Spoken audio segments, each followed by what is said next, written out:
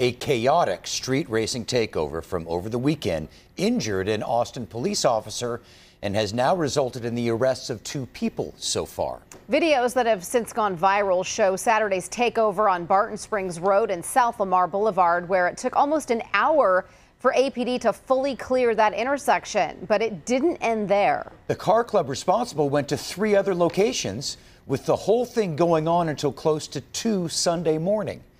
Many people got caught up in the situation, including an Austin City Council member. Fox 7 Austin's Amanda Ruiz joins us live from City Hall with more. Amanda.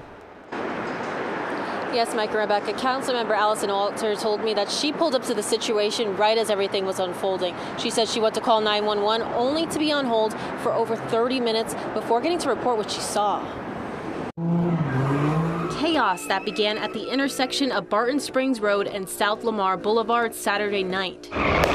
Austin police say a car club blocked traffic at the popular intersection for nearly 45 minutes, doing donuts, setting off fireworks, pushing back at police, and causing a traffic jam. When it had just started, we could see the fireworks. We could see people who were sitting on the back of um, trucks. We saw people with ski masks. Councilmember Alison Alter was on her way back home from dinner with her family and saw the entire incident unfold right before her very eyes.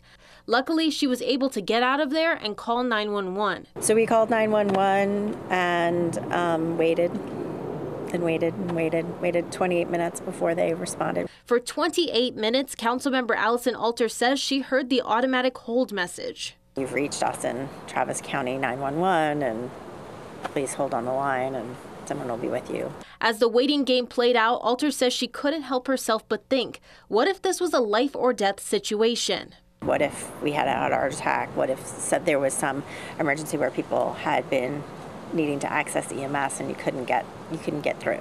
In a statement released by Mayor Kirk Watson, he said this was a significant issue that night. He said the city's 911 call center was flooded and received four times the normal amount of calls that night that led to long waits. This is a direct management failure of City Manager Cronk and the police department who have known about a challenge with 911 for more than 18 months. Last week, Austin City Council fired City Manager Spencer Cronk following his leadership during the winter storm. Alter says he also failed at finding solutions to fix the 911 call center's staffing issues and hopes the new interim city manager Jesus Garza will change that. I really think we have an opportunity now with the new um, city manager to think outside the box and put in place the solutions that should have been put in place a long time ago.